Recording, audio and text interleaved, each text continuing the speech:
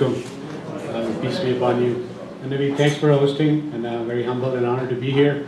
Um, I think, I know we only have one minute, but enough has been said about all what's going on and what's happened in Chapel Hill. To me, I think the most important thing is us as Muslim community, we need to take a step further and be more inclusive. Be more inclusive into things.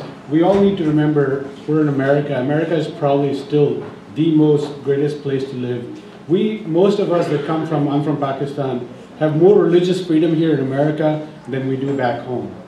So we should keep that in mind. And we should keep that in mind that why and how this happened. And what, you know, the preaching, like Michael said, and Michael's a good friend of mine, Islam, we should portray what real Islam is. We should dialogue with people. We should not hide behind closed doors that I'm a Muslim or my wife covers my head and I cannot show her, I, I'm ashamed of it now.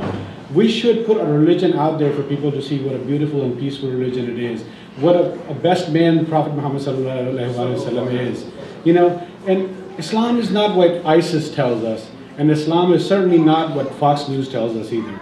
So there is the real Islam that we need to put out there. So I think the onus is on Muslims more than anybody else to step forward and actually go have an outreach with people. I've met Jeff Rising, he's come to Dover, we met, in, and how it happened is we had a, and it's a shame to tell you the story, but we had a burglary in our masjid in Dover.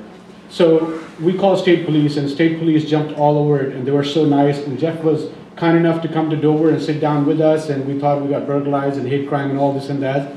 So when we sat down with state police, the first thing the captain told us, he said, we don't even know where you are, who you are. So this is state police telling us in Dover that we don't know, we don't even know who you are and where you're located because you know what? We never made an effort to go out there and tell people we're Muslims and we're out here and come join us. So since that day, the state police in Dover actually comes to our Ramadan gatherings. They know us, we know them, we have any problem, we're with there, they're with us. So please be inclusive, come out there, preach, not go preach forcefully, but show it with your actions, who we are, how we act, how we behave, how we stand in a grocery line and how we act. Are we the one to push people out of the way and, and then say, oh, look, there's a Muslim right there? Or we're the one who's going to help that lady take the grocery to her car, and then she says, oh, you know, I saw a Muslim today. She actually helped me with her grocery bag. So that's all I just pray is please, let's show everybody what the real Islam is. Thank you.